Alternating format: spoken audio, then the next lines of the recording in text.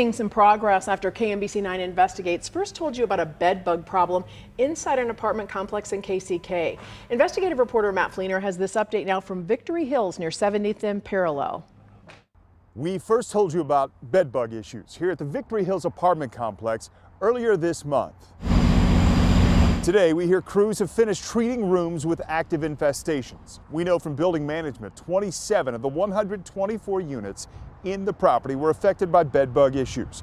But those units will get a reinspection from Unified Government Health Inspectors. A local pastor who moved her mother out and is helping residents inside said she is glad to see progress. I've tried to encourage people to look for places if they want to, but also to understand that they may not have to move.